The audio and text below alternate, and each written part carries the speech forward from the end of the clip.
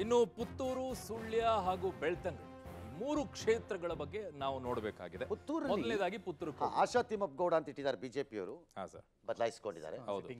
Sitting M L A ಬಿಟ್ಟು ಅಶೋಕ್ ಕುಮಾರ್ ರೈ ಅಂತ ಇವರು ಎಸ್ ಡಿ ಪಿ ಇಂದ ಶಾಫಿ ಬಳ್ಳಾರಿ. ಎಗೈನ್ ಇಲ್ಲೂ ಅಷ್ಟೇ. ಯಾಕಂದ್ರೆ ಇಲ್ಲೂ ಮುಸ್ಲಿಮರದು ಓಟ್ ಒಂದು ಇಪ್ಪತ್ತೈದು ಸಾವಿರ ಓಟ್ ಇದೆ ಇಲ್ಲಿ. ಸಂಜೀವ್ ಮಠಂದವ್ರನ್ನ ಅಲ್ಲಿ ಬದಲಾಯಿಸಿದ್ದಾರೆ.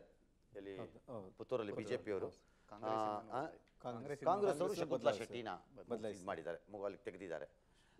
ಇಲ್ಲಿ ನೋಡಬೇಕು ಎರಡು ಹೊಸ ಕ್ಯಾಂಡಿಡೇಟ್ಗಳಾಗಿರೋದ್ರಿಂದ ಬಟ್ ಒಂದಂತೂ ನಿಜ ಪುತ್ತೂರು ಕ್ಷೇತ್ರ ಪದೇ ಪದೇ ಪ್ರೂವ್ ಮಾಡಿದೆ. That is B J P ತನ್ನ ಸಂಘಟನೆಯನ್ನು ಭಾಳ ಗಟ್ಟಿಯಾಗಿ ಇಟ್ಕೊಂಡಿದೆ ಅಂತ. ಯಾವ ಶಕುಂತಲಾ ಶೆಟ್ಟಿ ಹಿಂದೆ ಸಡ್ಡು ಹೊಡೆದು ಬಿ ಜೆ ಪಿಗೆ ತಿರುಗು ಬಿದ್ದು ಹೋದ್ರೋ ಆಗ ಶಕುಂತಲಾ ಶೆಟ್ಟಿನ ಕೆಡವುದ್ರು. ಹೌದು. ಅಲ್ಲಿ ಭಾಳ ಫೇಮಸ್ಸು ಶಕುಂತಲಾ ಶೆಟ್ಟಿ ಆ ಕಾಲದ ಆ ಭಾಗಕ್ಕೆ ಅಂದ್ರು ಕೆಡವ್ಬಿಟ್ರು ಬಿ ಜೆ ಪಿಯವರು ಅದಾದ್ಮೇಲೆ ಶಕುಂತ ಶೆಟ್ಟಿಗೆ ಎದೇಳಕ್ಕಾಗ್ತಾ ಇಲ್ಲ ಅವ್ರು ಕಷ್ಟ ಕೊಟ್ಬಿಟ್ರು. ಹಾಗಾಗಿ ಅಲ್ಲಿ ಸ್ಟ್ರಾಂಗ್ ಇದ್ದಾರೆ ಅವರು. ಹಾಗಾಗಿ ಅಭ್ಯರ್ಥಿಗಳ ಬದಲಾದರೂ ಸಂಘಟನೆಗಳು ಏನು ಮಾಡುತ್ತವೆ ಅನ್ನೋದಕ್ಕೆ ಸುಳ್ಯ ಒಂದು ಗ್ರೇಟ್ ಎಕ್ಸಾಂಪಲ್ ಅತ್ತ ನೀವು ಸುಳ್ಯಗೆ sorry I am sorry Puttur. Puttur. ಇನ್ನು ಸುಳ್ಳಿಯಾಗಿ ಹೋಗೋದಾದ್ರೆ ಈ ಸರಿ ಭಾಗೀರಥಿ ಮುರುಳ್ಳಿ ಅವ್ರನ್ನ ತಂದಿದ್ದಾರೆ.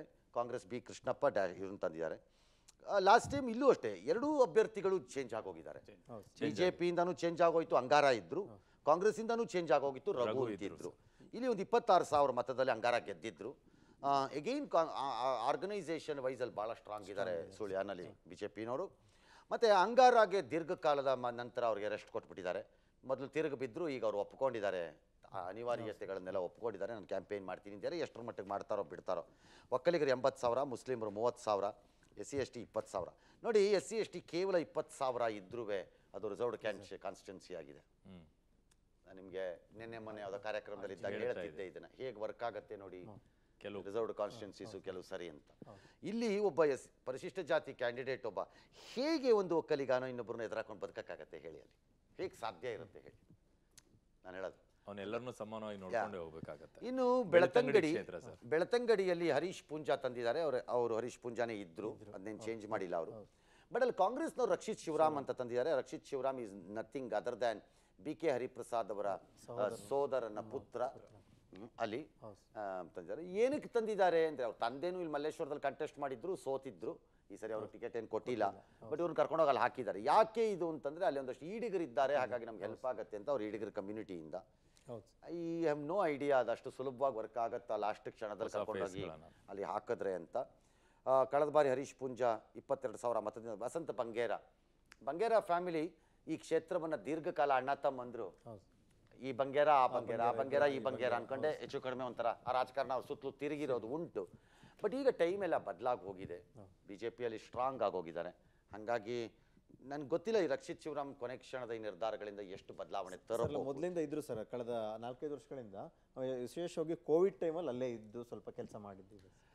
ಸಿ ಬಟ್ ಇನ್ನೊಂದು ಸರ್ ಅದಕ್ಕೆ ಪ್ಯಾರ್ಲರ್ ಆಗಿ ಇವು ಹರೀಶ್ ಪುಂಜ ಏನಿದ್ದಾರೆ ಜಾಸ್ತಿ ಅನುದಾನ ತಗೊಂಡೋಗಿ ಎಂ ಎಲ್ ಎ ಆಧಾರು ಇದ್ರೆ ಸೈಲೆಂಟ್ ಆಗಿ ತಗೊಂಡೋಗಿ ಎಂ ಎಲ್ ಎ ಇದ್ರೆ ಅದು ಹರೀಶ್ ಪುಂಜ ಅಂತ ಬಿಜೆಪಿಲೇ ಮಾತನಾಡ್ತಾರೆ. ಅನುದಾನ ತಗೊಂಡೋಗಿರ್ಬೋದು ಕೆಲಸ ಏನಾಗಿರುತ್ತೆ ಜನಕ್ಕೇನು ಲಾಭ ಆಗಿರುತ್ತೆ ಅನ್ನೋದನ್ನ ನೋಡಬೇಕು. ಇಲ್ಲೂ ನಿಮಗೆ ನೋಡಿ ಮುಸ್ಲಿಮರು ಒಂದು ಮೂವತ್ತು ಸಾವಿರ ಓಟಿದೆ ಏನು ಸಣ್ಣದಲ್ಲ ಅದು. ಆ, ಅದು ಅಲ್ಲೂ ಮತ್ತೆ S D P I factor ಒಳಗೆ ಬರ್ತಾ ಇದೆ. ಹಾಗಾಗಿ S D P I factor ಎಲ್ಲಿ ಯಾರಿಗೆ ತೊಂದರೆ ಕೊಡದಿದ್ದರೂ ಕಾಂಗ್ರೆಸ್ಗೆ ದಕ್ಷಿಣ ಕನ್ನಡ ಉಡುಪಿ ಭಾಗದಲ್ಲಿ ಒಂದಿಷ್ಟು ತೊಂದರೆ ಕೊಡುವ ಸರ್ವ ಲಕ್ಷಣಗಳು ಇವೆ. ಗೊತ್ತಿಲ್ಲ ಮುಂದೆ ಹೊಂದಾಣಿಕೆಗಳೇನಾದ್ರು ಮಾಡ್ಕೊಂಡ್ಬಿಟ್ಟು ಅವ್ರು ಅಡ್ಜಸ್ಟ್ ಮಾಡ್ಕೊಂಡ್ಬಿಟ್ರೆ ನಂಗೆ ಗೊತ್ತಿಲ್ಲ. ನಂಗೊಂದು ಮೂಲವಾಗಿ ಕಾಡುವಂಥ ಪ್ರಶ್ನೆ ಸರ್. ಬೇರೆ ಭಾಗಗಳಲ್ಲಿ ಈ ಕಡೆಲ್ಲ ನೋಡಿದಾಗ ನಮಗೆ ದುಡ್ಡಿನ ಚೆಲ್ಲಬೇಕು ಅದನ್ನ ಚೆಲ್ಲಬೇಕು ಅಂತಾರೆ. ಈ ಮಂಗಳೂರು ಮತ್ತೆ ದಕ್ಷಿಣ ಕನ್ನಡ ಮತ್ತು ಉಡುಪಿ ಸೈಡ್ ಬಂದಾಗ ಇಲ್ಲೆಲ್ಲ ದುಡ್ಡಿನ ವಿಚಾರಗಳ ಚರ್ಚೆ ಆಗೋದಿಲ್ಲ. ಓನ್ಲಿ ಬರೀ ಜಾತಿ ಲೆಕ್ಕಾಚಾರಗಳು ಮಾತ್ರ ಬರುತ್ತೆ. ಹೇಗೆ ಸರಿ ಹೇಗ್ ಸರ್ ಜಾತಿನೂ ಇರುತ್ತೆ ಸಿದ್ಧಾಂತ ಸಿದ್ಧಾಂತಗಳು ಬರೋದು ಎರಡೂ ಇದೆ. ಒಂದು ಕಲ್ಚರ್ ಅದು.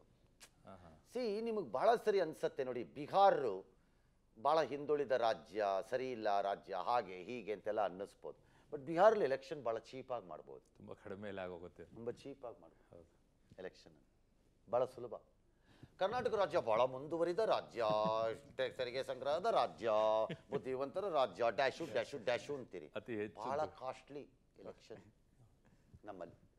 ನಮ್ಮಲ್ಲೂ ನಗರ ಪ್ರದೇಶದ ಕಾಸ್ಟ್ಗೂ ರೂರಲ್ ಪ್ರದೇಶದ ಕಾಸ್ಟ್ಗೂ ವ್ಯತ್ಯಾಸ ಇದೆ. ಕಿತ್ತೂರು ಕರ್ನಾಟಕದ ಕಾಸ್ಟ್ಗೂ ಕಲ್ಯಾಣ ಕರ್ನಾಟಕದ ಕಾಸ್ಟ್ಗೂ ವ್ಯತ್ಯಾಸ ಇದೆ. ಬೆಂಗಳೂರಿಗೂ ಹಳೆ ಮೈಸೂರಿಗೂ ವ್ಯತ್ಯಾಸ ಇದೆ. ಈ ರೀತಿ ನಮ್ಮದು ಒಂಥರ ತರಕಾರಿ ರೇಟ್ ಇದ್ದಂಗಿದೆ. ಬೆಳೀತಾರೆ ಅದ್ರ ಮೇಲೆ ಡಿಪೆಂಡ್ ಅಲ್ಲ ಆಯಾ ಭಾಗದಲ್ಲಿ ಯಾವುದು ಯಾವುದಿದೆ ಫಸಲು ಆ ಪ್ರಕಾರದಲ್ಲಿ ಬೆಲೆ ಇರುತ್ತೆ. ಅದಕ್ಕೆ ತಕ್ಕಂಗೆ. ಈಗ ಮೆಣಸಿನಕಾಯಿ ಬಹಳ ಕಡೆ ಬೆಳಿಬೋದು. ರಾಣೆಬೆನ್ನೂರು ಮೆಣಸಿನಕಾಯಿ ಬೆಲೆ ಬೇರೆ ಇರುತ್ತೆ. ಬ್ಯಾಡಿಗೆ ಮೆಣಸಿನ್ಕಾಯಿ ಸಾರಿ ಬ್ಯಾಡಿಗೆ ಮೆಣಸಿನಕಾಯಿ ಬೇರೆ ಇರುತ್ತೆ. ಹಾಗೆ ನಮ್ಮಲ್ಲಿ ಸ್ವಲ್ಪ ರೇಟ್ಗಳ ವ್ಯತ್ಯಾಸ ಇದೆ. ಬೆಂಗಳೂರಿನಲ್ಲಿ ಒಂದೊಂದು ಕ್ಷೇತ್ರಕ್ಕೆ ಆವ್ರೇಜ್ ಕಾಂಗ್ರೆಸ್ ಮತ್ತು ಬಿ ಜೆ ಪಿ ಥರ ಲೆಕ್ಕ ಹಿಡಿದ್ರೆ ಎರಡು ಮೇಜರ್ ಪಾರ್ಟಿ ಲೆಕ್ಕಾಚಾರ ಹಿಡಿದ್ರೆ ಸುಮ್ಮನೆ ಒಂದು ಐವತ್ತೈವತ್ತು ಕೋಟಿ ಅಂತ ಇಟ್ಕೊಳ್ಳಿ. ಲೆವೆಲ್ ನಾನು ಕೊಡ್ತಿರೋದು. ಸರಾಸರಿ. ಗೊತ್ತಾಯ್ತಲ್ಲ? ಸರ್ ಅಲ್ಲಿಂದ ಕೆಳಕ್ಕೆ ಹೋದ್ರೆ ಏನಾಗ್ಬೋದು ಸರ್? ಗ್ರಾಮೀಣ ಭಾಗಕ್ಕೆ ಬೆಂಗಳೂರು ಗ್ರಾಮೀಣಕ್ಕೆ ಹೋದರೆ ಒಂದು ಮೂವತ್ತು ಮೂವತ್ತೈದು ಲೆವೆಲಿಗೆ ಬರ್ಬೋದೇನೋ. ಇನ್ನೊಂಚೂರು ಕೆಳಕ್ಕೆ ಕೀಳಿದ್ರೆ, ಈ ಮೈಸೂರು ಎಚ್ ಡಿ ಕೋಟೆ ಈ ಕಡೆಗೆಲ್ಲ ಹೋದರೆ ಇಪ್ಪತ್ತು ಇಪ್ಪತ್ತು, ಇಪ್ಪತ್ತೈದು ರೇಂಜ್ಗೆಲ್ಲ ಬಂದು ನಿಂತ್ಕೋಬೋದೇನೋ ಅಲ್ವಾ?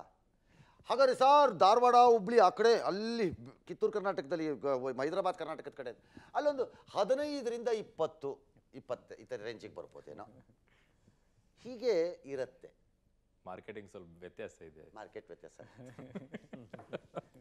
ಓಕೆ ನನ್ನ ಸಹೋದ್ಯೋಗಿ ದಕ್ಷಿಣ ಕನ್ನಡ ಜಿಲ್ಲೆಯಿಂದ ಸುಖಪಾಲ್ ಪೊಳ್ಳಿನೊಂದಿಗೆ ನೇರ ಸಂಪರ್ಕಕ್ಕೆ ಸಿಗ್ತಾ ಇದ್ದಾರೆ. ಸುಖಪಾಲ್ ಈ ಬಾರಿ ಒಂದೆರಡು ಕ್ಷೇತ್ರಗಳಲ್ಲಿ ಬದಲಾವಣೆಯನ್ನ ಮಾಡಿದ್ ನೋಡಿದ್ರೆ ಅಂತ ದೊಡ್ಡ ಮಟ್ಟದ ವ್ಯತ್ಯಾಸ ಏನಾದರೂ ಕಾಣಿಸುತ್ತಾ ದಕ್ಷಿಣ ಕನ್ನಡದಲ್ಲಿ? ಇಲ್ಲ ಅರುಣ್ ಈ ಈ ವರ್ಷ ಈ ಚುನಾವಣೆಯಲ್ಲಿ ಯಾವುದೇ ರೀತಿಯಾದಂಥ ಬದಲಾವಣೆಯ ನಿರೀಕ್ಷೆ ಇಲ್ಲ. ಯಾಕಂತ ಹೇಳಿದರೆ ಈಗ ಸದ್ಯ ಇರುವಂಥದ್ದು ಎಂಟು ಕ್ಷೇತ್ರಗಳಲ್ಲಿ ಏಳು ಕ್ಷೇತ್ರಗಳನ್ನು ಬಿ ಜೆ ಪಿ ಪಡ್ಕೊಂಡಿರುವಂಥದ್ದು. ಅದನ್ನು ಮತ್ತೆ ಉಳಿಸ್ಕೊಳ್ಬೇಕು ಅನ್ನುವಂಥ ಪ್ರಯತ್ನ ಬಿ ಜೆ ಪಿ ಒಂದು ಕಡೆಯಿಂದ ಮಾಡ್ತಾ ಇದೆ. ಅದರ ಜೊತೆಗೆ ಕಾದರ್ರ ಕ್ಷೇತ್ರದಲ್ಲಿ ಕಾಂಗ್ರೆಸ್ ಇರುವಂಥದ್ದು. ಹಾಗಾಗಿ ಅದನ್ನು ಈ ಬಾರಿ ಪಡೀಬೇಕು ಅನ್ನುವಂಥ ಪ್ಲ್ಯಾನ್ನ ಬಿ ಜೆ ಪಿ ಮಾಡಿದೆ. ಅದು ನಾವು ಟಿಕೆಟ್ ಹಂಚಿಕೆ ವೇಳೆಯಲ್ಲೇ ಗಮನಿಸಬಹುದು. ಯಾಕಂತ ಹೇಳಿದರೆ ಕಾದರ್ನ ಕ್ಷೇತ್ರದಲ್ಲಿ ಕೊಟ್ಟಿರುವಂಥ ಅಭ್ಯರ್ಥಿ B J P Billava community, ಅಲ್ಲಿ ಬಿಲ್ಲವ ವೋಟರ್ಸ್ ಇದ್ದಾರೆ ಜೊತೆಗೆ ಆ ಬಿಲ್ಲವ ಕಮ್ಯುನಿಟಿಯ ಸತೀಶ್ ಕುಂಪಲ್ ಅನ್ನುವಂಥ ಅಭ್ಯರ್ಥಿ ಎಲ್ಲರ ಜೊತೆ ಚೆನ್ನಾಗಿದ್ದಾರೆ ಆಗ ಅದನ್ನು ಗಮನದಲ್ಲಿ ಇಟ್ಕೊಂಡು ಬಿ ಜೆ ಪಿ ಒಂದು ಅಭ್ಯರ್ಥಿಯನ್ನು ಕಣಕ್ಕಿಳಿಸಿರುವಂಥದ್ದು ಅದರ ಜೊತೆಗೆ ಅಲ್ಲಿ ಎಸ್ ಟಿ ಪಿ ಐನ ಅಭ್ಯರ್ಥಿ ರಿಯಾಜ್ ಫರಂಗಿಪೇಟೆ ಏನಿದ್ದಾರೆ ಅವರು ಬಹಳಷ್ಟು ವರ್ಕೌಟ್ ಆಗುವಂಥ ಸಾಧ್ಯತೆ ಇದೆ. ಅದು ಕಾಂಗ್ರೆಸ್ಸಿಗೆ ಬಹಳಷ್ಟು ಹಿನ್ನಡೆ ಆಗುವಂಥ ಸಾಧ್ಯತೆ ಇದೆ. ಅದನ್ನು ನಾವು ಈವರೆಗೆ ನಡೆದಿರುವಂಥ ಕೆಲವೊಂದು ಬೆಳವಣಿಗೆಯಲ್ಲಿ ಗಮನಿಸಬಹುದು. ಯು ಟಿ ಖಾದರ್ ಅವರು ನೇರವಾಗಿ ಎಸ್ ಟಿ ಪಿ ಅನ್ನ ಟಾರ್ಗೆಟ್ ಮಾಡ್ತಾ ಇರುವಂಥದ್ದು ಇವತ್ತಿನವರೆಗೂ ಬಿ ಜೆ ಪಿಯನ್ನು ಟಾರ್ಗೆಟ್. ಮಾಡ್ತಾ ಇಲ್ಲ. ಬಿಜೆಪಿಯ ಜೊತೆಗೆ ಎಸ್ ಟಿ ಪಿ ಐದು ಹೆದರಿಕೆ ಕಾಂಗ್ರೆಸ್ಸಿಗೆ ಆ ಭಾಗದಲ್ಲಿ ಇರುವಂಥದ್ದು, ಅರುಣ್. ಸುಪ್ಪಾಲು, ಈ ಬಾರಿ ಎಸ್ ಡಿ ಪಿ ಐ ಕಳೆದ ಬಾರಿಗಿಂತ ತುಂಬಾ ಪವರ್ಫುಲ್ ಆಗಿದೆಯಾ? ಖಂಡಿತ ಖಂಡಿತ ಇದೆ. ಎಸ್ ಟಿ ಪಿಯೇ ಈಗ ಇಲ್ಲಿ ಮೂರನೇ ಪಕ್ಷವಾಗಿರುವಂಥದ್ದು. Congress, B J P, J D S ಅನ್ನುವಂಥದ್ದು ಇಲ್ಲಿ ಯಾವುದೇ ಕಾರಣಕ್ಕೂ ಸ್ಟ್ರಾಂಗ್ ಆಗಿಲ್ಲ. ನಾಮಕಾವಸ್ಥೆ ಒಂದೆರಡು ಕಡೆಗಳಲ್ಲಿ ಅಭ್ಯರ್ಥಿಗಳನ್ನು ಇಳಿಸಿದರೆ ಬಿಟ್ಟರೆ ಐದು ಕ್ಷೇತ್ರಗಳಲ್ಲಿ ಎಸ್ ಟಿ ಪಿ ಐ ಇವತ್ತು ಅಭ್ಯರ್ಥಿಗಳನ್ನು ಕಣಕ್ಕಿಳಿಸಿರುವಂಥದ್ದು. ಇದು ಪ್ರಮುಖ ಕಾರಣ ಆಗಿರುವಂಥದ್ದು. ಆ ಭಾಗದಲ್ಲಿ, ಆ ಕ್ಷೇತ್ರದಲ್ಲಿ ಮುಸ್ಲಿಂ ಮತದಾರರು ಹೆಚ್ಚಾಗಿದ್ದಾರೆ. ಎಸ್ ಟಿ ಪಿ ಐನವರು ನೇರವಾಗಿ ಟಾರ್ಗೆಟ್ ಇಟ್ಟಿರುವಂಥದ್ದು ಕೇವಲ ಮುಸ್ಲಿಂ ಓಟ್ಗಳನ್ನು ಮಾತ್ರ. ಕಾಂಗ್ರೆಸ್ನವರಾಗಿ ಎಲ್ಲ ಜಾತಿಯ ಜೊತೆಗೆ ಅಲ್ಪಸಂಖ್ಯಾತರ ಓಟ್ ನಮಗೆ ಬೇಕು ಅನ್ನುವಂಥದ್ದನ್ನು ಎಲ್ಲೂ ಎಸ್ ಟಿ ಪಿ ಐ ಹೇಳ್ತಾ ಇಲ್ಲ. ನೇರವಾಗಿ ಮುಸ್ಲಿಂನ ಓಟುಗಳೇನಿದೆ ಅದು ನಮಗೆ ಬೇಕು ಅನ್ನುವಂಥ ಕಾರಣಕ್ಕಾಗಿ ಐದು ಕ್ಷೇತ್ರಗಳಲ್ಲಿ ಮುಸ್ಲಿಂ ಪ್ರಾಬಲ್ಯ ಇರುವಂತಹ ಐದು ಕ್ಷೇತ್ರಗಳಲ್ಲಿ ಎಸ್ ಟಿ ಪಿ ಇವತ್ತು ಕಣಕ್ಕಿಳಿದಿರುವಂತದ್ದು ಕಣಕ್ಕಿಳಿದಿರುವಂಥದ್ದು. ಅದು ಈ ಬಾರಿಯ ಚುನಾವಣೆಗೆ ಇಫೆಕ್ಟ್ ಆಗದಿದ್ರು ಮುಂದಿನ ಬಾರಿ ಆದ್ರೂ ನಮಗೆ ಲಾಭ ಆಗುತ್ತೆ ಅನ್ನುವಂಥದ್ದು ಎಸ್ ಟಿ ಪಿ ಐದು ಲೆಕ್ಕಾಚಾರ Arun. Okay. Thank you so much Sukhpal sir overall ಆಗಿ ದಕ್ಷಿಣ ಕನ್ನಡ ಮತ್ತು ಉಡುಪಿ ಇದು. ಅವರೇ ಹೇಳಿದ್ರಲ್ಲ. ಅಲ್ಲ ಎರಡು ಎರಡು ಸೇರಿ ಏನಾದರೂ ಕೊನೆಯದಾಗಿ ಹೇಳಬೇಕು ಅಂತಿದೆ ಸರ್? ಅವರೇ ಹೇಳಿದ್ರು. ಒಂದು ರಾಜ್ಯಾಧ್ಯಕ್ಷರ ವಿಚಾರವಾಗಿ ಹೇಳ್ಬೇಕು ಸರ್. ದಕ್ಷಿಣ ಕನ್ನಡ ಜಿಲ್ಲೆಯವರು ಯಾರದು? ಬಿಜೆಪಿ ರಾಜ್ಯಾಧ್ಯಕ್ಷರು. ಯಾರು? ಅದಕ್ಕೆ ಬಹಳ ಜನ ಯಾರು ರಾಜ್ಯ- ಯಾರಪ್ಪ? ನಳಿನ್ ಕುಮಾರ್ ಕಟೀಲ್. ಹೆಸರು ಯಾರು ಮರ್ತೋಗಿದೆ ರಾಜ್ಯಾಧ್ಯಕ್ಷ ಅಂತ ಕೇಳಿದಾಗ ಎಲ್ಲರಿಗೂ ಹೆಸರೇ ಮರ್ತಾ ಸೌಂಡೇ ಇಲ್ವಲ್ಲ ಅಂತ ಕೇಳಿದಾಗ ಅವ್ರು ಹೇಳ್ತಿದ್ರಂತೆ ಸರ್. ಇಲ್ಲ ನನ್ನ ಒಂದು ಇದರಲ್ಲಿ ರ- ಲೋಕಸಭಾ ಕ್ಷೇತ್ರದಲ್ಲಿ ಏಳಕ್ಕೆ ಯೋ- ಎಂಟಕ್ಕೆ ಏಳು ಕ್ಷೇತ್ರ ಗೆದ್ದಿದ್ದೀವಿ. ಕಟೀಲ್ ನಾಳೆ ಚೇಂಜ್ ಮಾಡಿದ್ರು ಏನೂ ಆಗಲ್ಲ ಅಲ್ಲಿ.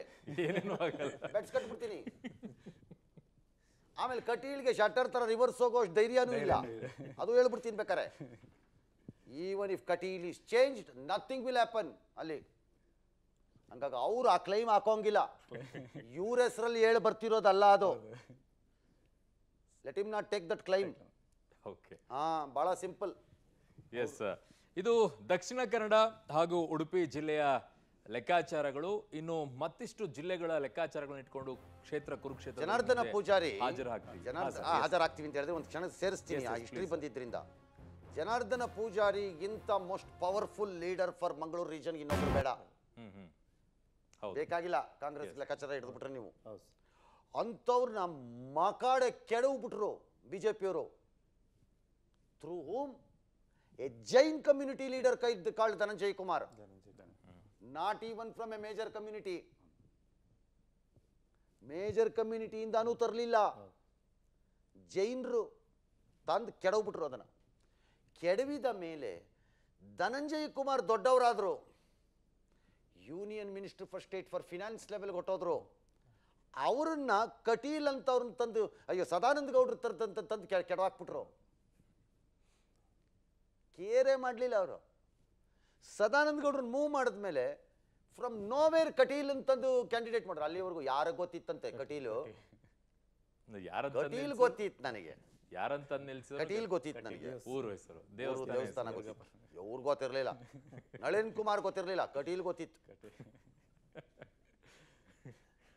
ಈಗೇನಾರು ಇವರು ನಾನು ಕಟೀಲು ನಮ್ಮ ರಾ- ಜಿಲ್ಲೆಯಲ್ಲಿ ಏಳು ಅಂತಾನೆ. ಬುರ್ಡೆ ಬಿಡಬೇಡ್ರಿ ರೇ ನಿಮ್ಮನ್ನ ಕಿತ್ತಾಕಿದ್ರು ಏನೂ ಆಗಲ್ಲ. ಇನ್ನೊಬ್ರು ತಂದು ಬಿಡ್ತಾರಲ್ಲ ಪಕ್ಷದವರು. ಅಷ್ಟು ಸ್ಟ್ರಾಂಗ್ ಇದ್ದಾರೆ. ಅದಕ್ಕೇನೆ ಉಡುಪಿಯಲ್ಲಿ ಈ ವರ್ಷದ ಬದಲಾವಣೆ ಕಳೆದ ಬಾರಿ ಮಂಗಳೂರಿನಲ್ಲಿ ಆದ ಬದಲಾವಣೆ ಆದ್ರೂ ನೀವು ಬೇರೆ ಕಡೆ ನೋಡಿದಂಥ ಬಂಡಾಯಗಳು ಕಾಣಲ್ಲ. ಕಾಣ್ತಾ ಇಲ್ಲ. ಅದಕ್ಕೆ ಕಾಣಲ್ಲ ಅಲ್ಲಿ. ಎಸ್ ಎಸ್ ಓಕೆ ಈಗ ಕ್ಷೇತ್ರ ಕುರುಕ್ಷೇತ್ರವನ್ನ ಈಗ ಮುಗಿಸ್ತಾ ಇದ್ದೀನಿ. ಮತ್ತೊಂದಿಷ್ಟು ಜಿಲ್ಲೆಗಳ ಕ್ಷೇತ್ರ ಕುರುಕ್ಷೇತ್ರದಲ್ಲಿ ಮುಂದೆ ಹಾಜರಾಗ್ತೀವಿ ಅಲ್ಲಿವರೆಗೂ ನೀವು ಹುಷಾರಾಗಿರಿ. ನಮಸ್ಕಾರ. ನಮಸ್ತೆ.